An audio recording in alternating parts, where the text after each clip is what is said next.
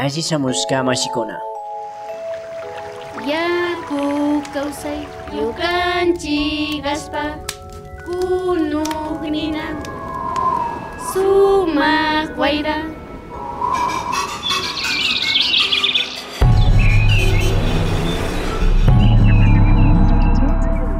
Minga por la Pachamama, una ventanita entre el campo y la ciudad.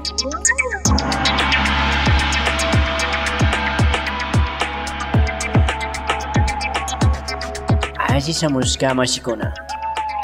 Ashisamushka mashikuna Bienvenidos y bienvenidas. Muy buenos días amigos, amigas de la Minga por la Pachamama. Un gusto estarles acompañando el día de hoy. Muy buenos días, Marce. Muy buenos días, Lili, vecinos, vecinas, caseritos, caseritas de escuchas. Estamos aquí en su programa Minga por la Pachamama y pues hoy estamos andando entre los Andes conociendo este hermoso espacio, ¿no? La granja Urcuhuaycú desde la Merced. Así es, y conociendo, ¿no? Varios experimentos, varias eh, prácticas que están buscando justamente este tema de la regeneración del suelo y por qué es tan importante este ser vivo llamado suelo. Y además estas experiencias cercanas, ¿no? Vamos a conocer, justamente estamos aquí atrás de nosotros están algunas abejitas en estas flores amarillas y vamos a conocer todo el mundo de la apicultura. Ah, qué bonito. ¿Qué te parece? Así que vamos a tener buenas sorpresas hoy.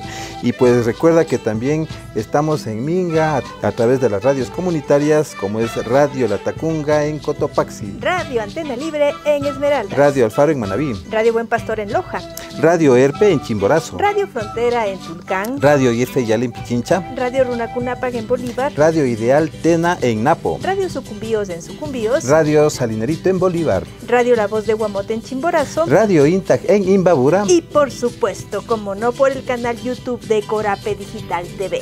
y también nos pueden enviar mensajes a través de quienes solo se pasan en el Facebook, pues a través de el Facebook de Minga por la Pachamama y en el Twitter arroba Minga Pachamama. Y igualmente en el Facebook de Corape Satelital y también en eh, mandar mensajecitos a través de la línea minguera 0982 42 0922. Y pues les agradecemos también a quienes están atrás en los controles máster, como no, a nuestro compañero Paul Salas, a Felipe Mosquera y por supuesto en el sonido a Adrián León que está ahí tras eh, las cámaras. Así que amigos, amigas, bienvenidos, bienvenidas a esta ventanita entre el campo y la ciudad. Bueno, les invito pues en esta vez un mensaje extensivo, les invito a hacer una minga por la Pachamama, a hacer una ventanita del campo a la ciudad. Hola, mi nombre es Doménica Ulloa, yo soy nutricionista, les saludo el día de hoy desde la ciudad de Cuenca y quiero enviar un saludo muy especial a Radio Revista Minga por la Pachamama. Eh, el día de hoy les voy a dejar un mensaje para que ustedes tengan una alimentación saludable y sostenible, ¿sí? Eh, que aprovechen los alimentos que tenemos aquí en nuestro entorno, alimentos frescos de temporada, eh, de cercanía y ecológicos. Vamos a la minga, vamos a la minga, vamos a la minga ya. Todos a la minga, todos a la minga, todos a la minga ya. Un saludo desde aquí de Nayón, Chaupichupa, a la Minga por la Pachamama, una ventanita entre el campo y la ciudad.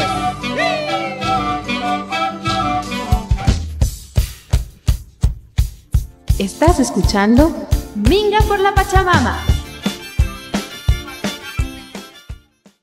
Comenzamos solamente con mieles, digo solamente porque esa es la base, aunque, aunque fue un, un enamoramiento con las abejas.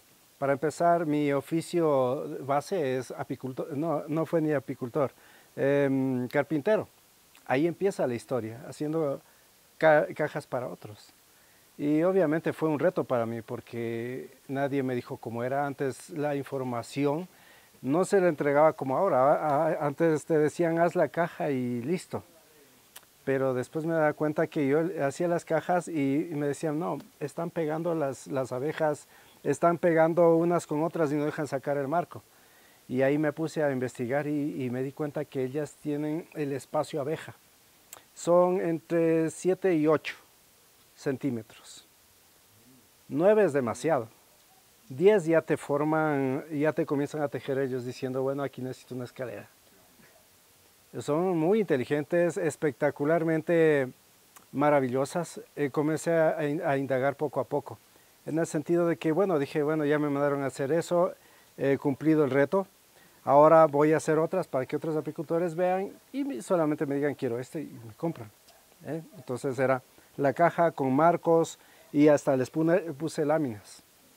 Entonces mientras yo trabajaba, las abejas venían, se metían a la caja, salían, me daban vueltas así en la cara y yo era uno de los que más miedo y pavor tenía a las abejas. Les confieso, una abeja me hacía correr.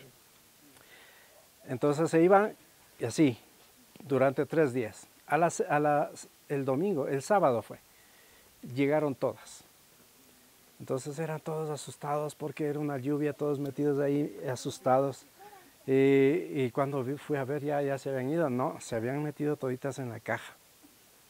Entonces eh, fui, donde los apicultores pidiéndoles que, me ayuden a ver esta. Y cogieron en verdad, le destapamos y eso fue el enamoramiento, porque imagínense ustedes, eh, eran solo láminas y ellas construyeron sus casitas eh, a un tanto así de trabajo, del lado y lado, porque también e, ellas respetan mucho el tamaño para poner sus crías. Entonces, de lado y lado bien, bien construido, todo hermoso, un amarillo como el que ven allí, precioso. Eh, si uno tiene sensibilidad, se da cuenta la alegría que tiene esa colmena. Ya tenían crías, ya tenía, la reina estaba poniendo sus crías, eso me mostraba, mira, esta es una cría de un día, de dos días, y eso es importantísimo ver. No entendía por qué. Bueno, y después comida a los lados y comida a los lados. Dije, qué maravilloso. Es como si nosotros quisiéramos hacer eh, Quito, todo Quito en cinco años. Eso lo hicieron en cuatro días, señores. En cuatro días que llegaron las colmenas, se instalaron en cuatro días ese trabajo. Maravilloso. Dije, bueno, es coincidencia, llevaré esa caja, le pondré al bosque, ya es mía. Y no, seguí poniendo cajas, siguieron llegando. Siguieron llegando. Tuve 10 colmenas y bueno, ya, ya me dediqué a ayudarles a los otros apicultores. Ya me compré una, caja, una máscara porque me picaron, imagínate, una lástima. Y de ahí fui descubriendo. Después mi esposa estudió y me dio más herramientas. Y, es por eso es que ahora quiero presentarles a, una abejita. Cada vez que vean una abejita, sientan el más profundo respeto. Yo creo que es uno de los seres más importantes hoy por hoy de la Tierra. Eh, resulta que todo su cuerpito, todo su cuerpo es un biolaboratorio. Casi la mayoría de los productos que ustedes consumen, que es la miel, la miel no es miel si, no pasa por este biolaboratorio. Muchos cometen el error de decir que la abeja vomita, que es de su estómago, no es cierto. Eh, para empezar, no hemos visto una abeja que lleve un baldecito todo inocuo, no, no, eso no tiene.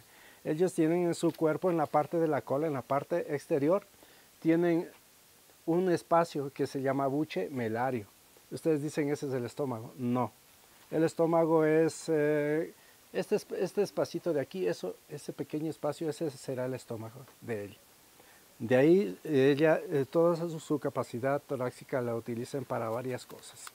Una de las principales, almacenar miel. ¿Y qué, qué es lo que hacen en la, en la, colmena? Van esa y hacen un regurgitar que hace, mm, eso se llama trofalaxia.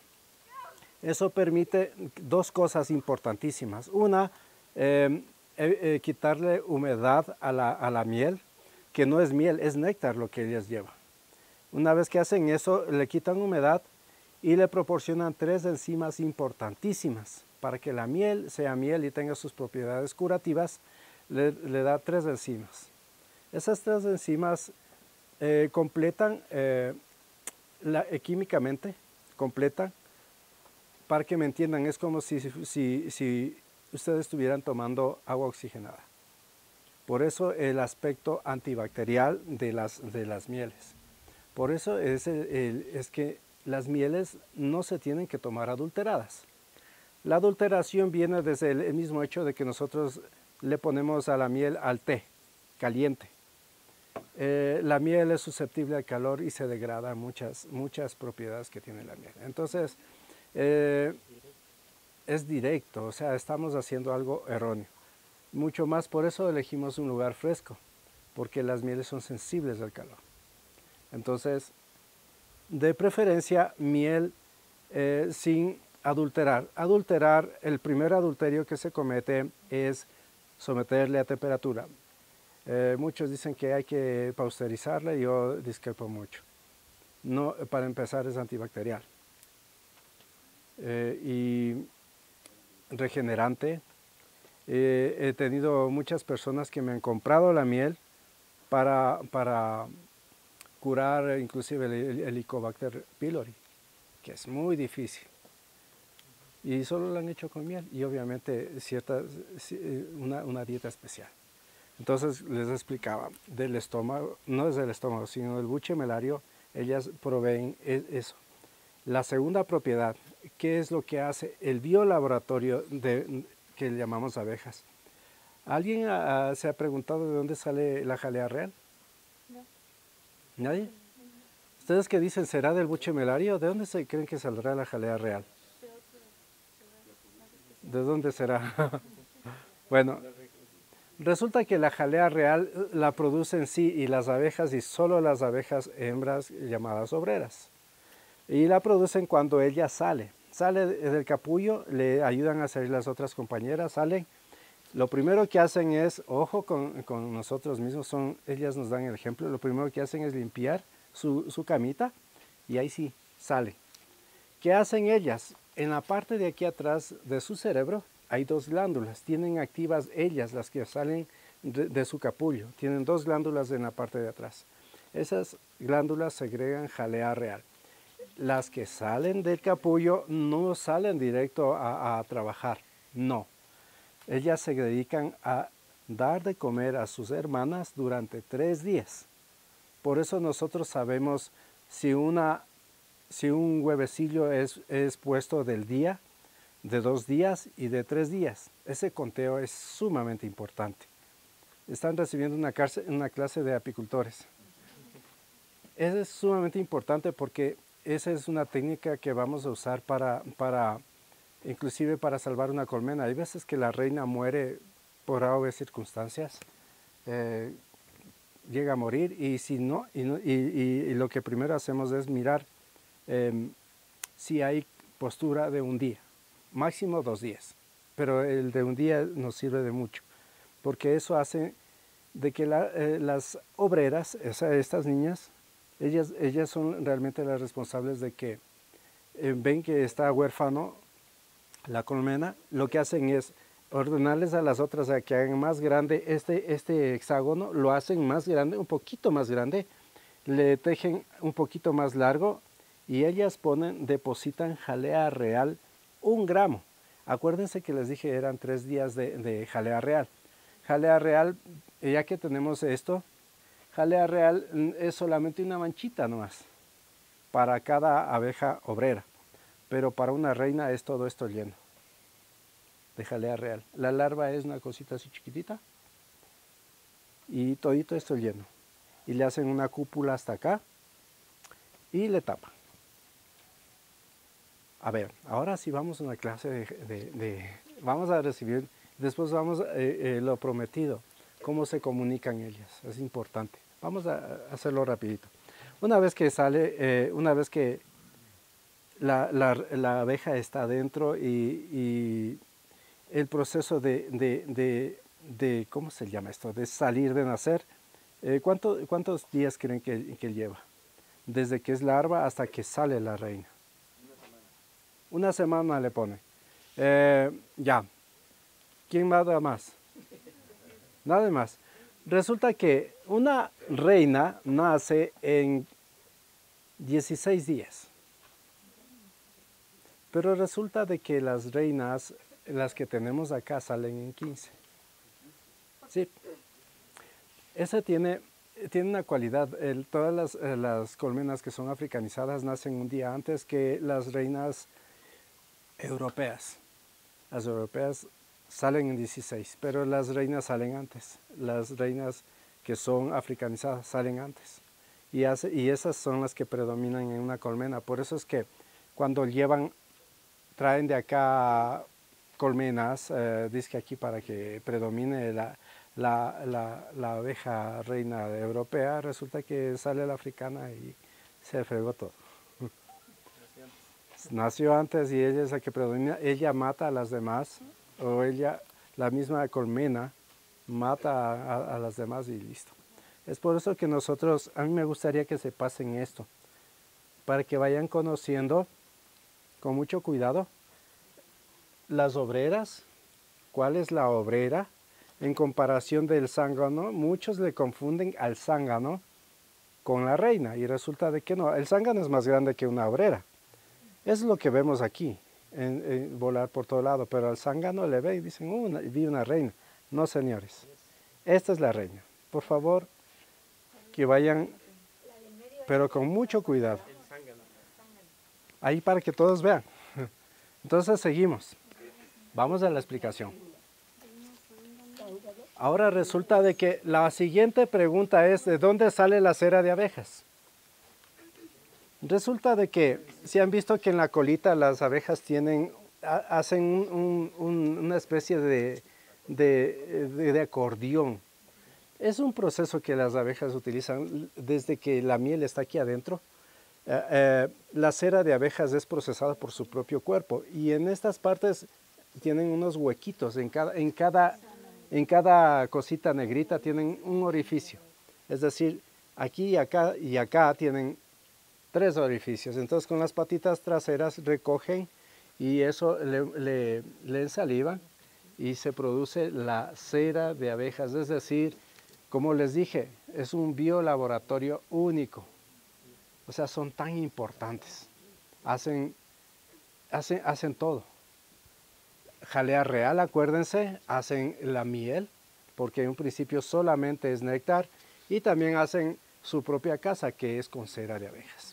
Ahora sí, vamos a pasar a explicar cómo se comunican las abejas. ¿Alguien ha visto a alguien una abeja comunicarse con otra?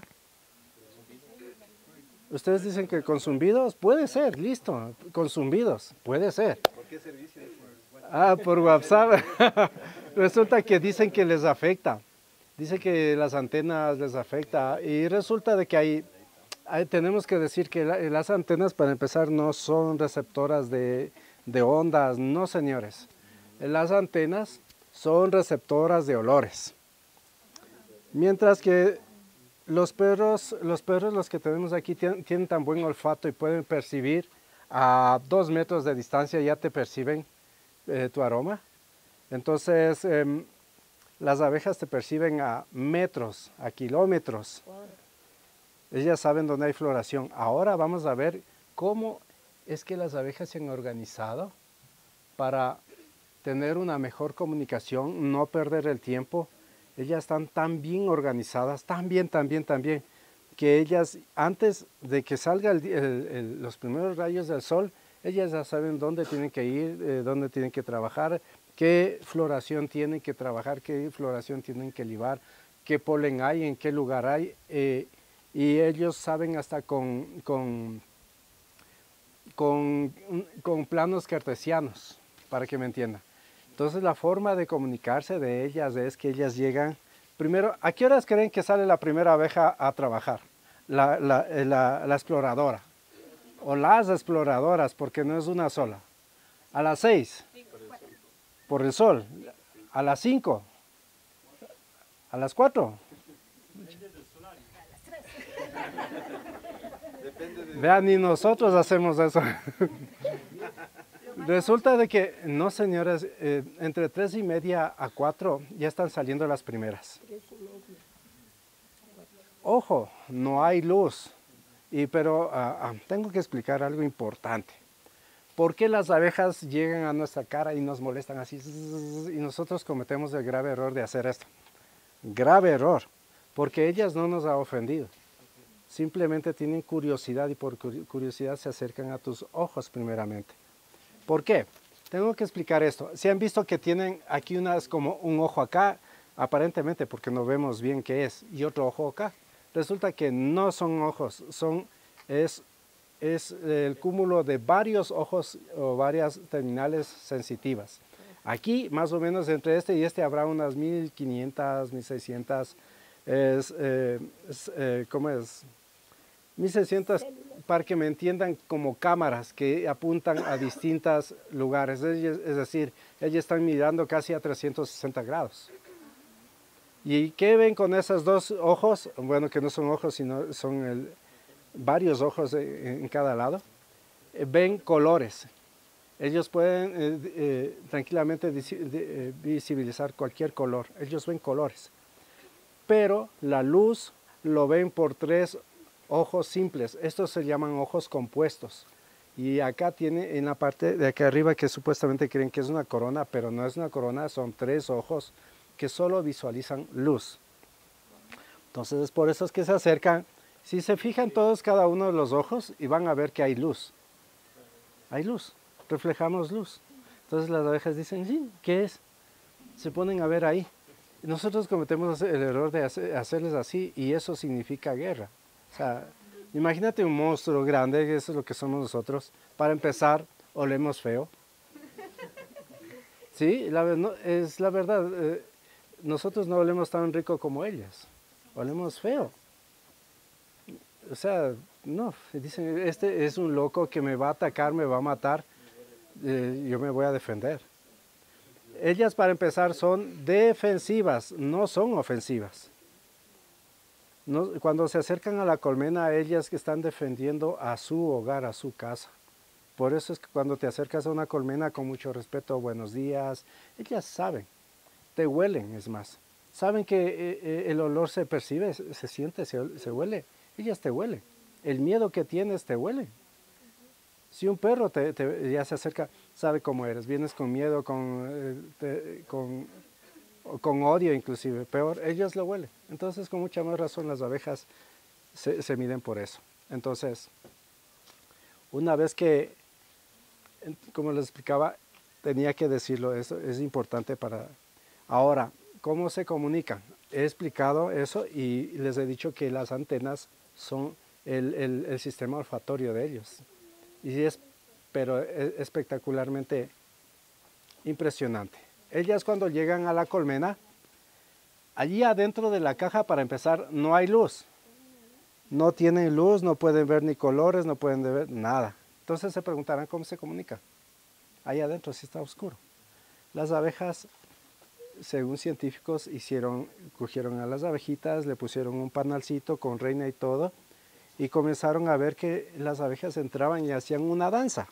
Esta danza hacía así, chin, chin, chin, chin, daban la vuelta, y volvían acá, volvían a mover la colita, tin, tin, tin, y hacían esto. Por acá formaban un 8 y cogían tin, tin, tin, tin, y volvían otra vez. Entonces los científicos se ponían, estamos Vamos a medirle, pongamos, pongamos ahí una regla, hizo así, puso así, tan, eh, grados acá, acá, acá, y se dieron cuenta que estaban dando coordenadas precisas en, con dirección de, de dónde, está, dónde está la colmena, dónde están las flores, a qué distancia están y qué tipo de flores. A ver, ¿cómo, cómo creen que hacían qué tipo de flores? Resulta de que, ¿se acuerdan que les decía que ellas eh, regurgitan. Entonces ellas regurgitan ahí y con las aromas, les, acuérdense que les dije que las antenas son los mejores sistemas olfativos. Por eso todas las abejas se ponen ahí como, como si un artista estuviera haciendo su, su, obra de arte. Todos están alrededor, pero, pero así, impresionantemente con una atención única. Entonces, las antenitas están percibiendo el, el, el aroma que ella está impregnando en el lugar. Y dicen, a tal lugar hay tanta miel, hay polen, hay eh, tal cantidad y ahí esta flor. Esta flor es la que tienen que trabajar. Entonces ya salen directo. Zoom. Y si ustedes van y ven una colmena, cuando hay muy buena floración, eso, eso parece, ustedes ven así. Y a las 6 de la mañana, como acaba de decir él, ya están, ya, ya están de retorno algunas. Un tip importante, ¿cómo saber que una colmena está bien o cómo una colmena no está bien o está mal im- alimentada? Sencillo. ¿Han oído el término pan de abeja? ¿Cuál creen que será el pan de abeja? El pan de abeja es el polen que traen de afuera. Entonces ellas traen en la patita posterior, tienen una bolsita que se llaman corvículas. Allí depositan el polen. Pero no es, eh, como se darán cuenta, el polen es un polvito. Volvemos al laboratorio de ellas. Ellas le, le recubren de una, de, una, de una sustancia llamada etzina. Y le, ponen atrás en esta, bolsita. Y salen. En cada patita, dos, una bolita. Salen con eso, llegan acá. Entonces, los apicultores, los, los antiguos, no ven, solamente se paran en la colmena y ven cuántas entran por minuto en una colmena. Y ahí podemos, hacemos el conteo, nos quedamos un minuto por reloj y vemos si entran más de 10, bien. Yo me he dado cuenta que acá arriba entran más. Es una locura. tienen polen, pero rapidísimo. Entonces, sí, súper. Entonces, cuando está así, está demasiado bien. Más bien nos obliga a nosotros a, darles espacio, a hacerles un poco de trabajos. Entonces, cuando vemos que menos de 10, nos tenemos que preocupar. Ahí es, sabemos que ya tienen un índice de mala alimentación y tenemos que trabajar en ellas. Tenemos que darles comida. Les- como les decía, hace unos dos o tres años eh, hubo una desertificación, o sea, no había, no estaba lloviendo. Y eso les afecta directamente a ellas. Entonces, ¿qué tienen que hacer? ¿Qué tenemos que hacer nosotros? Darles de comer. O sea, el apicultor, bueno, en especial yo en mis tiempos, eh, yo no daba de comer. Pero eso no es tan bueno. Siempre hay que parar una vez al año. ¿Qué hacía yo? Yo no les daba de comer. Yo cogía mis colmenitas, les llevaba a, un- a otro lugar. Ahí les ponía en, en- en- la costa. Y entonces eh, allá les, les abría otra vez a trabajar. Me acuerdo que tuve una experiencia en la costa. En la costa se me llenaron de un poco de, de- de mi- bio, o sea, o sea, estaban atacando a las crías. Y yo eh, dije, ya perdí 10 colmenas que llevé a la costa. Dije, qué pena. Tengo que sacarlas, les llevé a la Brava, no completaron todavía su ciclo, les llevé y les traje a Cayambe. El lugar era alto y recontra re frío. Entonces mi esposa era llorando, por decir, ellos se van a morir. Y le dije, no, vamos a ver qué pasa. Resulta de que a los 15 días volví y se habían recuperado. Ellas mismas habían limpiado sus celdas, habían quitado todo y tenían muy buena cría y, un buen aspecto, tenían muy buena comida. Conclusión, si quieren combatir eh, ciertos tipos de organismos que hay dentro de la colmena, trasladen a un lugar frío, alto. Santo remedio, yo descubrí eso, para no estarles echando químicos ni nada por el estilo. ¿Tienen alguna otra pregunta? Ah, tengo que explicarles mucho con respecto a las mieles. Hemos explicado solamente lo básico de las abejas, es para que ustedes también se enamoren de ellas. Y si ven una abejita, ya le respeten, le ayuden más bien, ven que está una caídita, cójanle. Eh, ellas sienten cuando les son ayudadas. Es más, yo he cogido a una, le he cogido allí, así, cerradito el puñito, le he calentado y les he dado de comer y, ya, se van otra vez a su colmena. Entonces, lo primero que yo aprendí después de, de enamorarme de ellas y ser apicultor es que trasladaba las colmenas y, y había este fenómeno importante. Y ahí empecé yo. Por ejemplo, esta miel, normalmente no se dejen engañar, esta miel eh, les venden como si fuera jalea real. Si esto fuera jalea real, el costo sería más de mil dólares, tranquilamente. Y además la jalea real es, susceptible a la luz. porque siempre la jalea, eh, les recuerdo que la jalea real siempre está dentro de la colmena y está oscuro. En cambio, si le ponemos directo al sol, se degrada en una hora y está degradado. Y se daña, es la única que se daña. Y mm, para, para sostener, o sea, tener miel, digo, perdón, jalea real, eh, se, ne- se necesita un, fra- un frasco color ámbar y tenerlo bajo cadena de frío. No de congelación, sino de frío. Entonces, no se dejen engañar, muchos le dicen, jalea real, tome, a 20 dólares, 50 dólares. No, señores, la jalea real, ¿qué, qué sabor creen que tiene la jalea real? Y les cuento, el- la, jalea real no tiene sabor. No sabe ni a dulce, ni agrio, ni nada. De pronto medio picantito, pero tenuemente, nada más. Yo diría que es más completa, eh, porque muchas personas eh, somos eh, vegetarianos, sí, pero necesitamos, necesitamos nutrientes poderosos. Tenemos el polen, tenemos la jalea real. Y debemos eh, eh, tener en cuenta eso muy bien, porque nosotros como vegetarianos sí necesitamos proteínas. Las necesitamos. Esta miel eh, es cosechada hace 15 días, en 20 se hace así. Déjame ver, esta. Por eso las puse así. Todas las mieles que yo he cosechado aquí en la sierra, las cosecho de este color. Este ya está, está a punto de volverse sólida. Si se dan cuenta que ya tiene un aspecto ya más claro que este, porque el, eh, sí ya está volviéndose sólida. En 20 días las mejores mieles se vuelven sólidas. ¿Y es por qué? Para que ustedes me entiendan, es como si se coagulara. Cuando ustedes le someten a temperatura, pierdes el 60% de todas las propiedades de una miel. Una de ellas es esta, la que permite la coagulación o el empanizamiento. Y eso, eh, esa propiedad cuida tu estómago. Es, para, eh, eh, es el equivalente a la papayina de la papaya. Esa es peptina. Protege tu estómago. Aparte de eso, la vitamina, que hay vitaminas, hay minerales importantísimos en ellos. Uno de ellos no es que haya lingotes de oro, no, no, aquí molecularmente hay oro. El oro permite que nuestro cuerpo se distensione, se relaje. Entonces, susceptible al calor.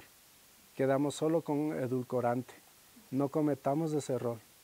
A excepción de las mieles, ah, tengo que hacer un énfasis que las mieles que yo he cosechado en la sierra, todas se solidifican, pero las de la costa sí se solidifican, pero en ocho meses.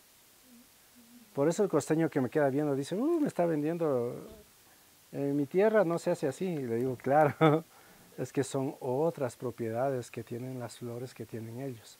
Y yo por ende debo decir que yo, yo mil veces prefiero una de la sierra que de la costa. Por obviamente porque tienen otras propiedades los de la sierra. Y ahora, las floraciones es importante. Como les dije, eh, yo antes no daba de comer, solamente trasladaba. Entonces, al hacer eso teníamos variedad. Me di cuenta que la miel de la costa no sabe igual al de la sierra. La miel que tiene eh, Steven acá arriba con sus colmenas no sabe igual a la de, a la de más allácito, nada más. No sabe igual. Ahorita vamos a hacer una cata de mieles también y vamos a probar. Y se van a dar cuenta que mu- muchos dicen, "Oh, esta miel no es miel porque yo he probado y, y no sabe igual. Y la pregunta es dónde, dónde la compró, quién, la- quién le vendió. Por eso es importantísimo que nosotros nos, nos hagamos de gente que, que sea confiable, que tenga sus colmenas, que sepamos la fuente de dónde viene. En un futuro ya se harán eh, investigaciones que cada, cada néctar, cada flor es importantísimo para curar enfermedades. Por ejemplo, yo de por ende, miel de eucalipto. Yo la de acá, yo la consideraría muchísimo para tomar acá.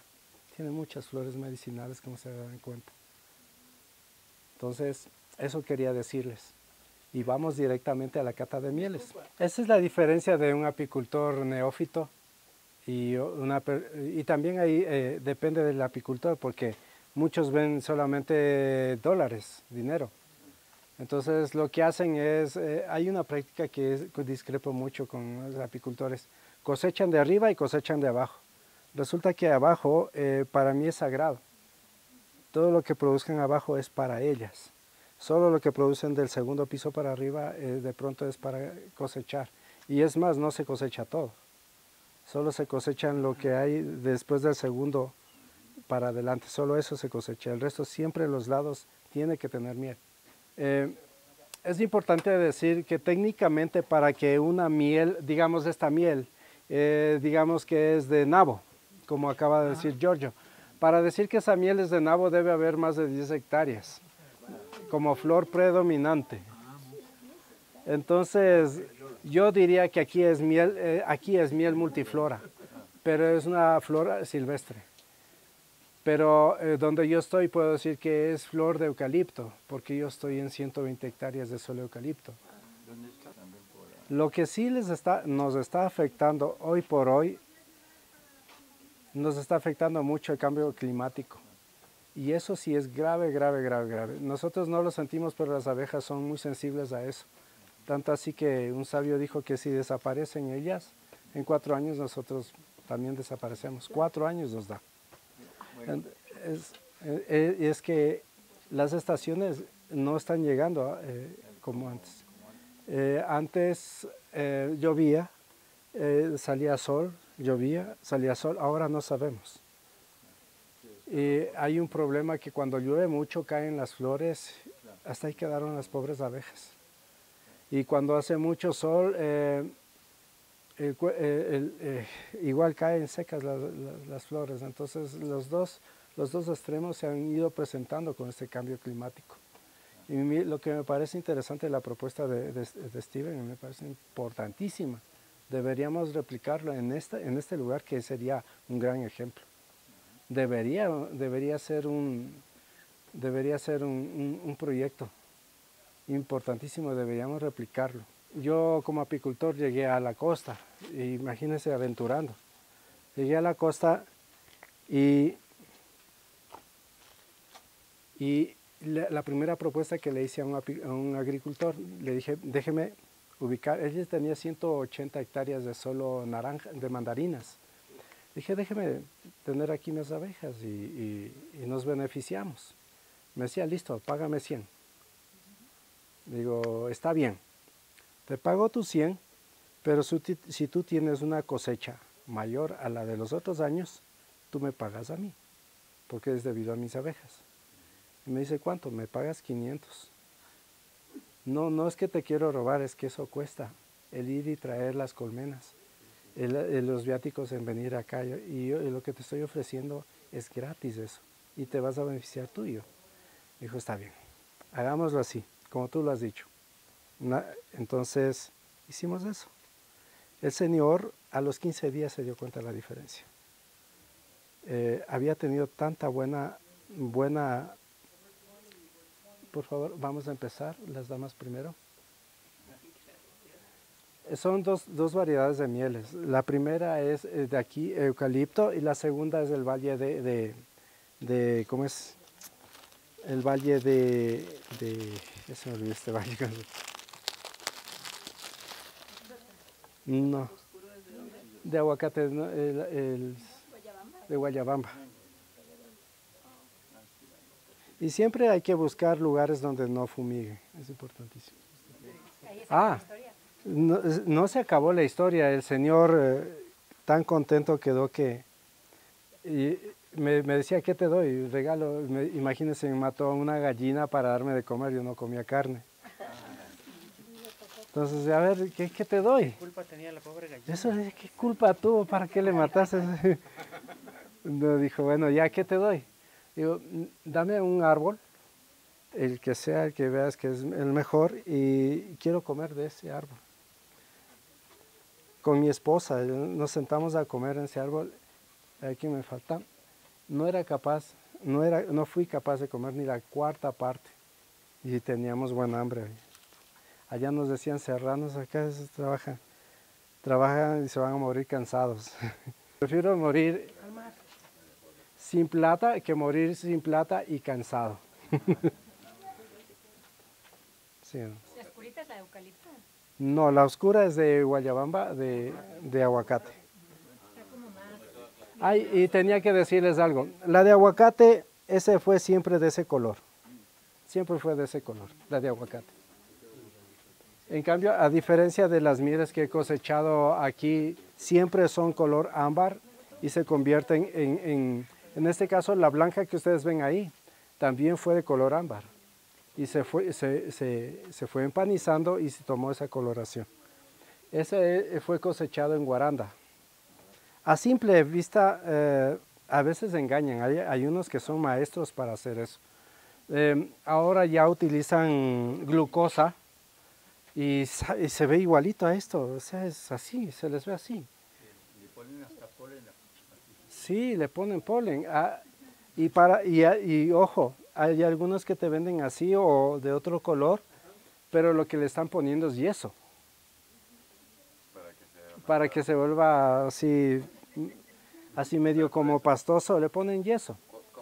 Al punto, al punto que para eso hay un reactivo que, que, que, que reacciona ante, ante el yeso y se pone azul.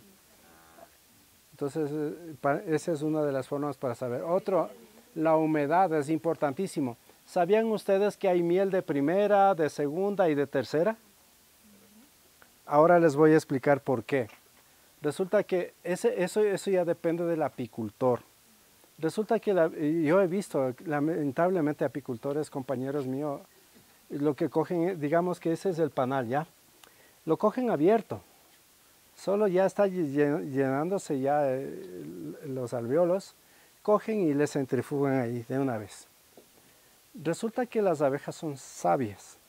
Ellas cuando ya saben que ya eh, tienes la humedad y, puede ser preservado eso, ellas, tap, ellas mismas tapan con una eh, delgada capa de cera de abejas. Eso se llama operculados, o sea, marcos operculados, tapados. Entonces, ¿qué, ¿qué, hacemos nosotros? Destapamos, y eso se llama desopercular. Y de eso sale, un, sale sale, estas cosas que nosotros hacemos con la cera de abejas.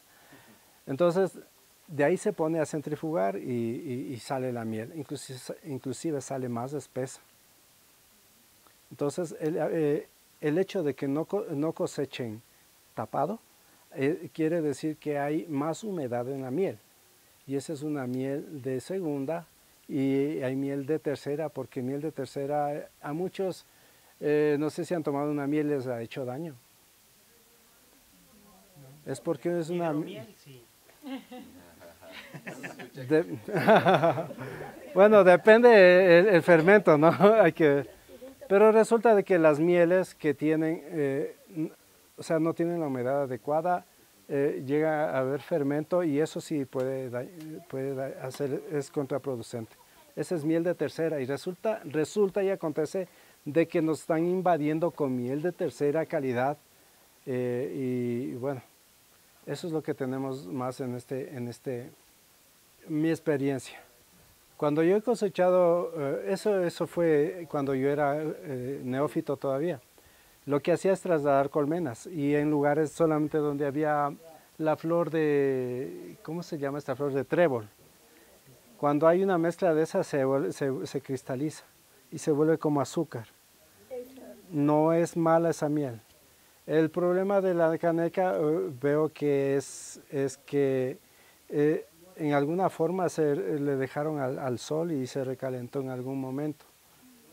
Y es por eso que aparece, y es más, tenemos que tener cuidado en, ese aspecto. Normalmente a mí me pasó, puse una miel en la parte de arriba de mi cocina y después quedó la mitad eh, líquida y la mitad sólida. Entonces, usted, eh, la mayoría dice es mala miel. No es mala miel. Lo que pasa es que la miel, no, eh, como les acabé de decir, es susceptible al calor. Más de 30 grados se, eh, se, va desapareciendo las propiedades. Entonces, acuérdense, lo caliente siempre sube hacia arriba, lo frío hacia abajo. Entonces, ¿dónde tienen que poner una miel? ¿Arriba o abajo? Correcto. Eso yo lo aprendí a las malas. Se me dañó la miel quedó como edulcorante nada más. Si lo ta cosecharon tapado, o lo cosecharon mezclado. Otros destapados y otros tapados, otros destapados, otros tapados. Eso también depende muchísimo. Por eso les decía, es importantísimo que tengan un, buen apicultor y ese apicultor tenga estos pasos muy en claro. Porque la miel que no se cosecha eh, tapada eh, es, miel, es miel tierna. La miel que se cosecha todo empanizada, o sea, todo tapada con cera de abejas, esa es miel madura. Y se van a encontrar que es muy diferente. Hasta el sabor cambia totalmente. Bueno, eh, me pueden ubicar en... Estoy viviendo aquí cerquita. Soy, eh, estamos en, ubicados entre Angamarca y el sector el, Edén se llama el sector. En memoria de, una, de, un, de un balneario que antiguamente era el Edén justamente. Entonces, eh, o también estoy, a, a propósito, antes les explicaba que estaba en la ronda, ahora ya no soy en la ronda. ahora estamos ubicados en en, el mercado artesanal. Logramos un lugar, un espacito en el pabellón, en, la entrada 8, eh, local 147. También nos pueden ubicar ahí con todos los productos, inclusive incluyendo la jalea, porque la jalea, como les decía, tenemos en cadena de frío y cuando les damos a ustedes les damos en cadena de frío, es decir, en hielo para que lleguen a su casa y lo ubiquen, no en congelación, sino en, en donde ponen lo, eh, digamos, el queso, no sé, las verduras, no en la puerta. Eso eh, me, han dicho varias veces, se me dañó, claro. Estamos acá abriendo, y cerrando. Entonces, no, debe ser un lugar donde sea constante el, frío.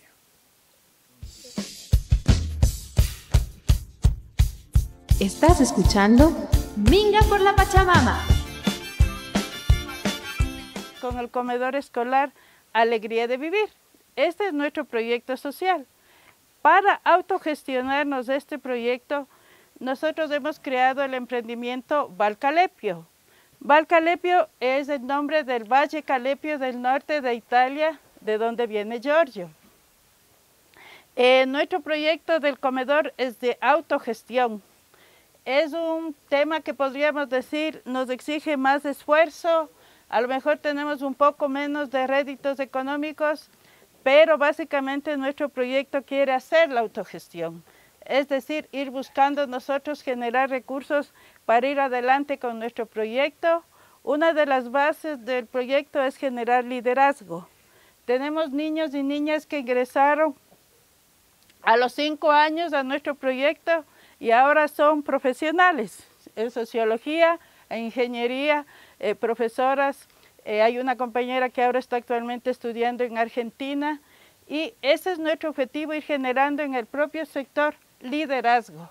Liderazgo ah, desde los niños pequeños hasta que salen al colegio o a la universidad, porque consideramos que el desarrollar nuevos liderazgos es bien importante para nuestro país, con una nueva visión, con unos nuevos objetivos eh, de, ciudadanía, de participación, buscando la solidaridad, buscando el compartir, buscando el desarrollar una nueva forma de vida, como hablábamos en este caso, una nueva forma de alimentarnos.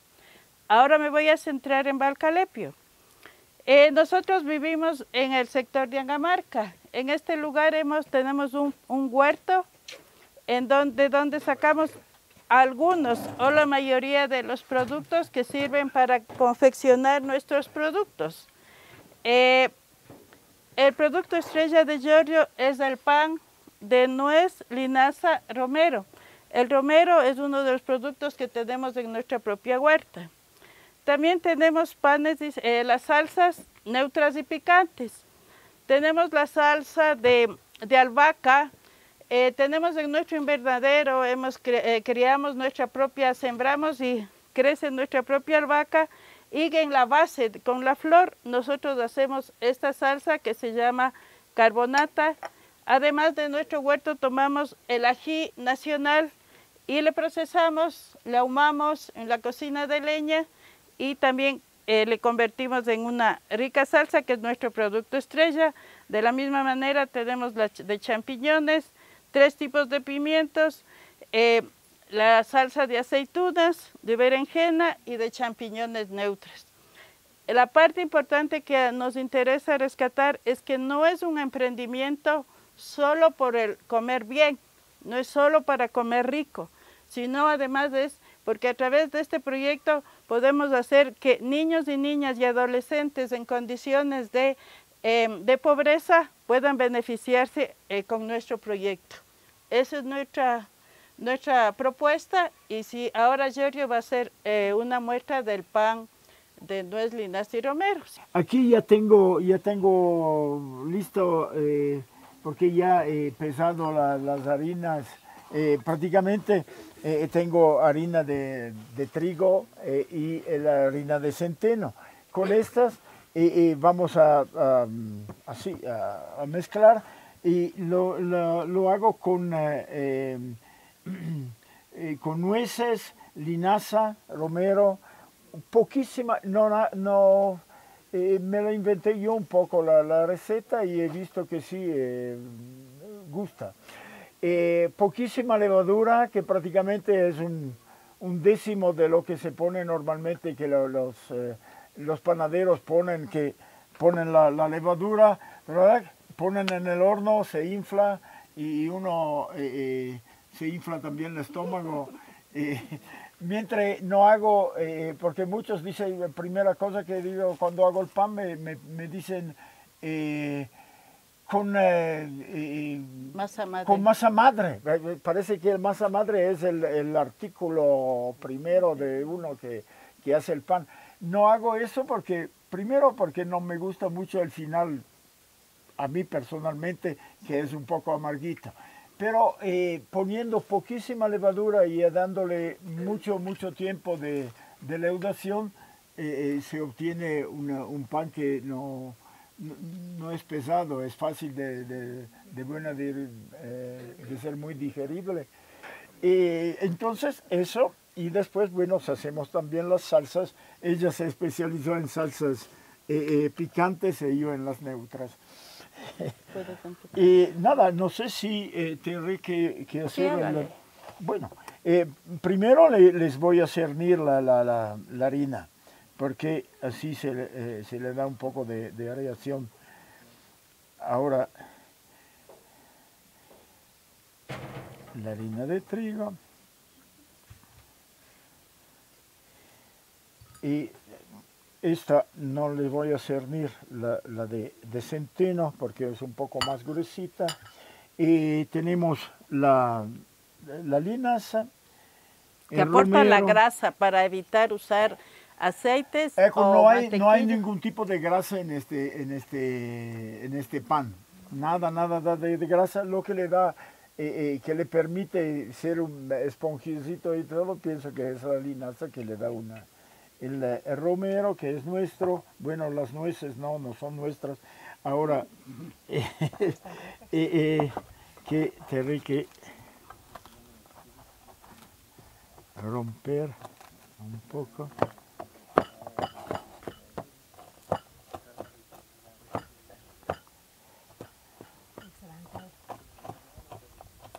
Ah, se están sedientos. Gracias. Muy poca, eh, muy poca sal, ¿eh? que es, eh, y la levadura que es poquísima, ¿no?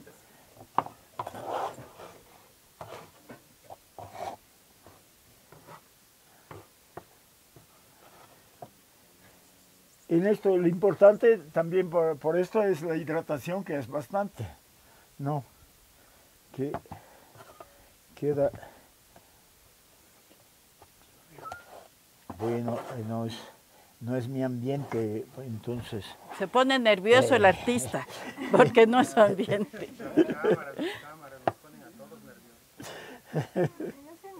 Me, me resulta, eh, bueno, en Camari compro solo, pero eh, la, la harina de centeno le, le- le compro a una, a una, eh, eh, a una compañera aquí de, de, De la antisana, de, de, tinta. de la Antisana, porque eh, hicimos cursos juntos y también en ferias.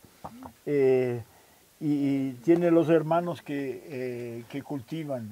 y- y El me- centeno me- y muelen y todo ellos mismos.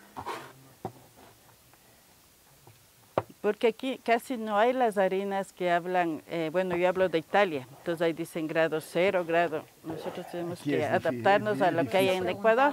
Es difícil. No, las harinas, lo que él usa es la, la harina, la harina blanca que decimos, no Que la es la flor, comercial, eh, no, no, no. Pero no esa le compramos en Camari.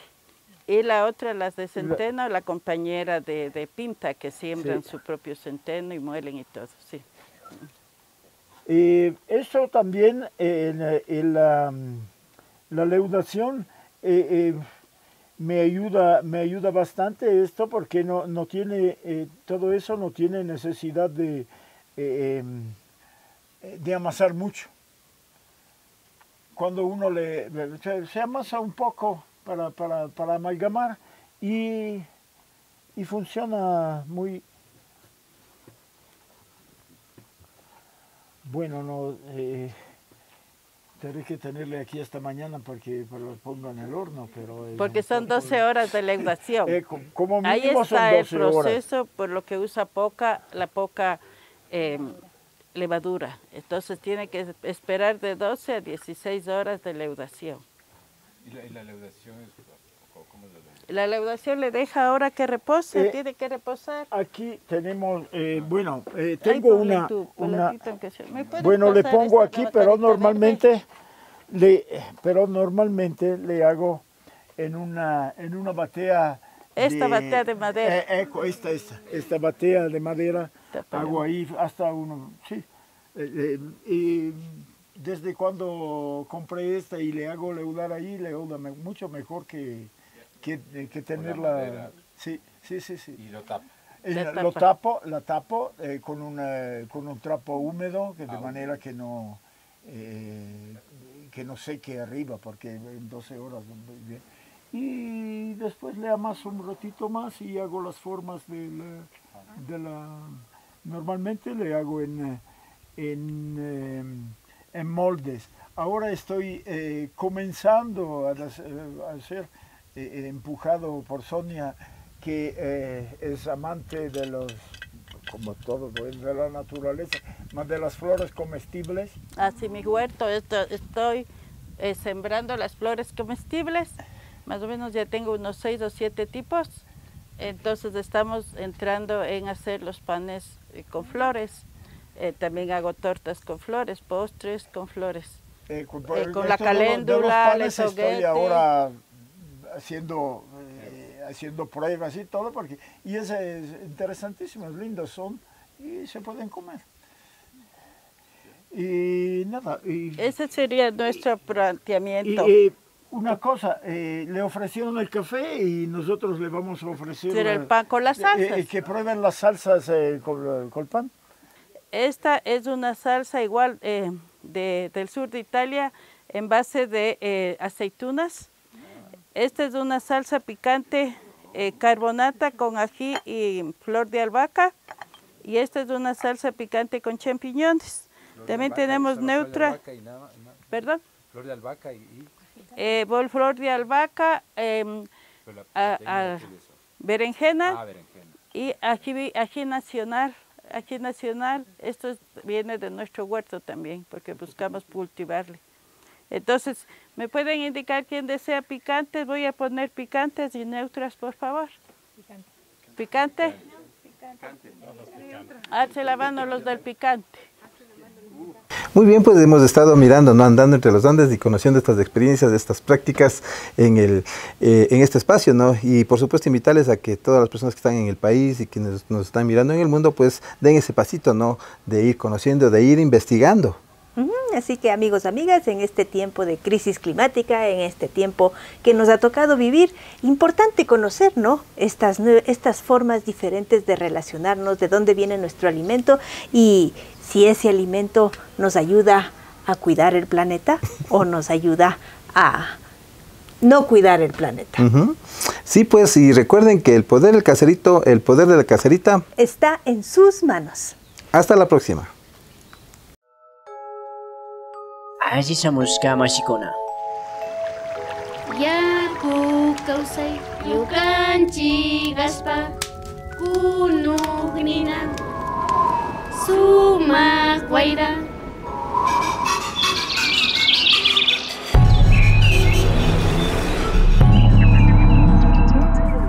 Minga por la Pachamama, una ventanita entre el campo y la ciudad.